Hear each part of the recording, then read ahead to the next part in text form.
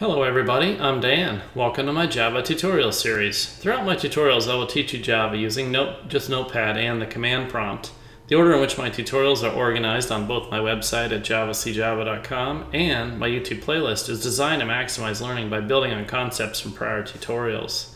This tutorial is about the number format exception class and specifically how it relates with try-catch statements and exception handling in general. I'm going to open up my web browser to my website, javacjava.com, select begin. I'm going to scroll all the way down here to try-catch number format exception. The number format exception class is commonly thrown when an attempt is made to convert a string to a number. The number format exception class is derived from runtime exception. The runtime exception class is an important class to mention because all subclasses that are derived from runtime exception and error are referred to as unchecked exceptions. I'll be discussing the topic of unchecked versus checked exceptions in a future tutorial. Now this tutorial builds on concepts from the following tutorials, exception handling, try and catch tutorial, try catch index out of bounds exception tutorial, and try catch arithmetic exception tutorial. Um, go ahead and scroll down here. So basically I'm bringing back my old box class there and um, creating a new constructor, an overloaded constructor here that'll take uh, string arguments too in addition to, you know, primitive int arguments. So let's go ahead and uh, highlight all the source code here. Control C to copy. Oh, missed the C on that one there. Control C to copy or right click and select copy. All right, I'm gonna move my browser off screen here and I've got a shortcut to the command prompt on my desktop, but if you don't, you can create one really quick by right clicking, selecting new shortcut, type in CMD, next and finish. Go ahead and open that up, type in Java C, press enter. You should see this, the, all the stuff scroll by because that was the Java command uh, compiler tool there there. And but if you don't, if you get an error message, watch my tutorial on installing the Java Development Kit. You want to make sure you get that, that installed and configured properly before continuing. CLS to clear the screen, then CD space backslash, CD is short for change directory, and backslash tells it to go to the root. Now I'm going to make a directory here called Java using the MD command. I already have that folder, but if um, you don't, it'll go ahead and create it for you. Change directories to the Java folder. And I'm going to make a directory here called uh, try catch, and we'll call this uh, number format exception, NFE, right? And let's go ahead and change to that. Notepad, try catch, and then we'll abbreviate number format exception there, dot Java. Okay. Let's go ahead and paste this stuff in. Let's save this here. All right, so I'm gonna come, my uh, try catch NFE class has the main method entry point here. And then I've got this box class down here. It's well encapsulated. We've got um, these three instance variables set up private here, length, height, and width, all a primitive int type, and setting them equal, initializing them to zero.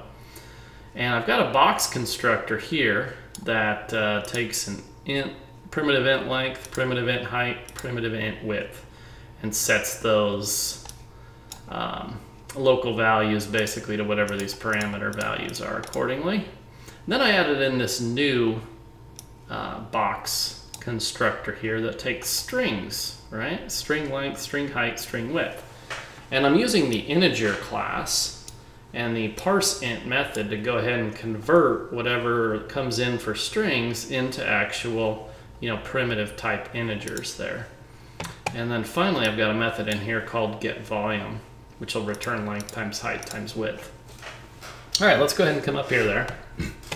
And so the first two statements, I'm initializing a box, well, box one is a reference variable of box type. I'm, initial, I'm setting that to a uh, reference to a new box object and passing it the, uh, invoking the constructor that takes three int values here, right, which will come down and invoke this one right here, length, and they'll set length, height, width, right? Pretty straightforward on that.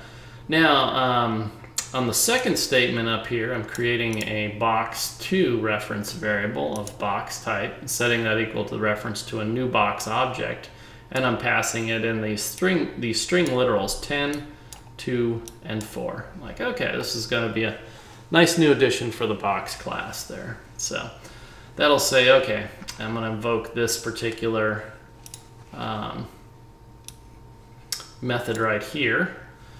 And basically that will uh, come down here and find our string length, string height, and string width there. And in the integer class, let's go ahead and come out here and look at the, uh, the parse int um, method. Okay, so the integer class. We come down here and we'll go ahead and just select the parse int. Okay, so parse int takes in a string parameter, returns back a primitive int type, and parses the string argument as a signed decimal integer. If we click on the parse int here, that'll take us out to here. And you can see it throws a number format exception right here. So if, if the string does not contain a parsable integer, all right, let's come take a look at number format exception here. So number format exception is actually derived from illegal argument exception, which is derived from runtime exception. Now runtime exception are everything underneath there, all subclasses of runtime exception are considered unchecked exceptions, right? I'm going to be going into checked exceptions here very shortly when I show you guys how to do your own um, error handling classes there, exception handling classes, I should say. And they'll be um, basically subclasses of exception, but not subclasses of runtime exception.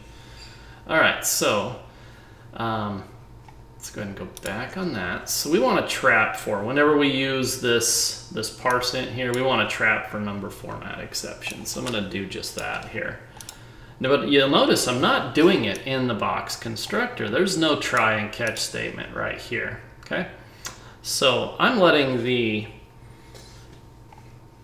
uh, basically I'm just kind of passing the buck when this, when this goes off on an error here, it will pass it to the calling method and then the calling method will actually trap for that particular error.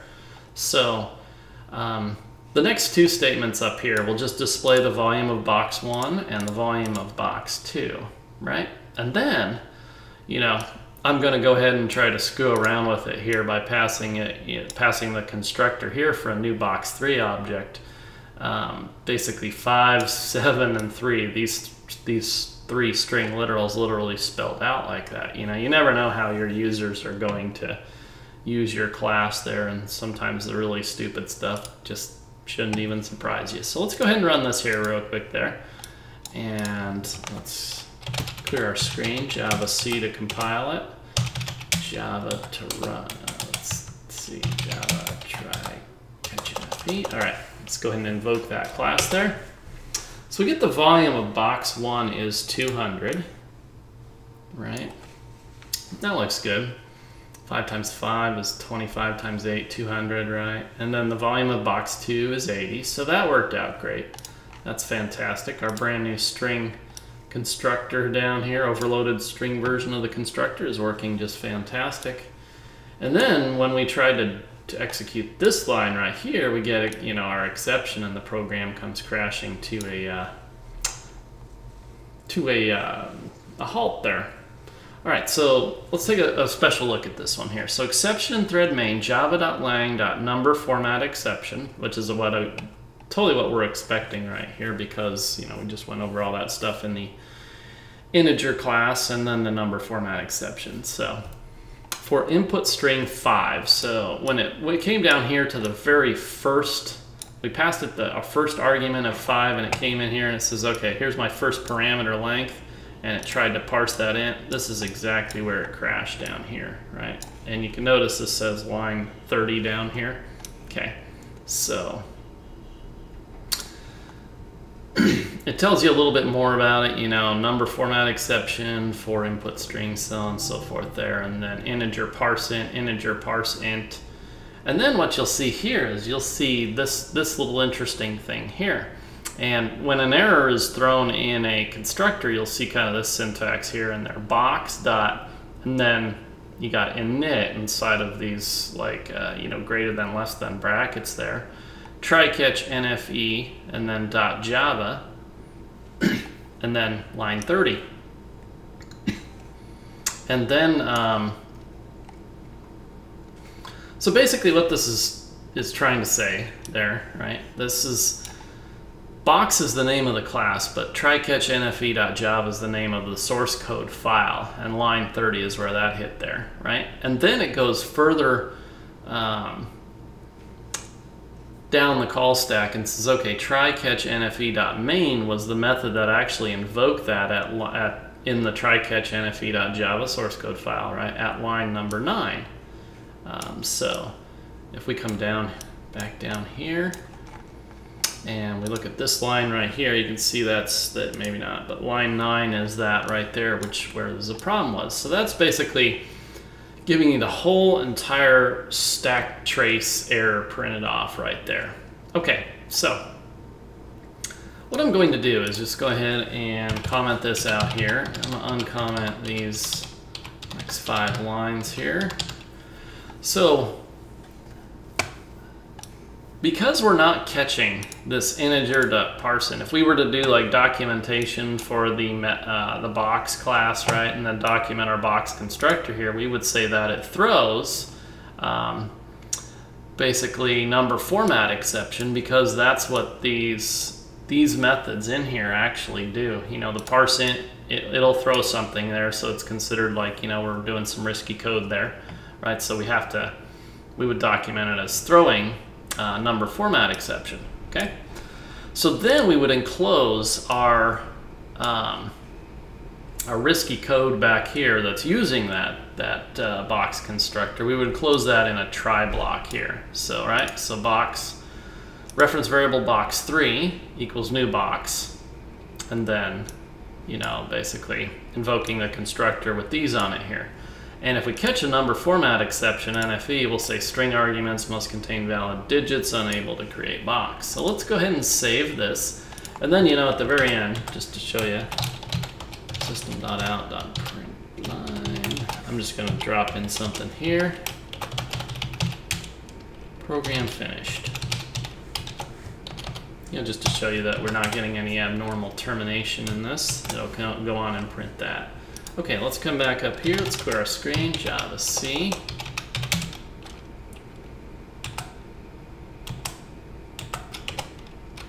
Compile it, run it. Okay, so we get our volume of box 1 is 200, the volume of box 2 is 80. String arguments must contain valid digits unable to create box, and then program finished. All right, so that's how you can do the error trapping from, say, within by when you're invoking a um, constructor, right? So not only can you trap for methods, but constructors, of course, can call all kinds of stuff when they when they do their stuff as well. So, and that introduces you to the number format exception class here as well. Now stay tuned for my tutorials there, because basically what I'm going to do is I'm going to show you guys how to create um, your own exceptions there, right?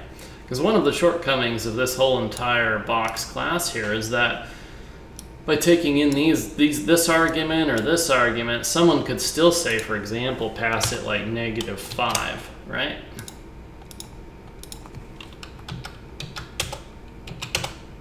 and the volume of our box one is negative 200, right? So we don't want to allow for that sort of stuff there. And I'm going to show you how we can use exception handling as opposed to like method return values like I was demonstrating in a well long tutorial a very long time ago. But um, yep, stay tuned for that next one there on the creating your own exception classes. I'm going to go ahead and close out that, get rid of that, and just leave you with uh, one final thought there. So it's worth just mentioning again that number format exception is derived from runtime exception, which makes it an unchecked exception.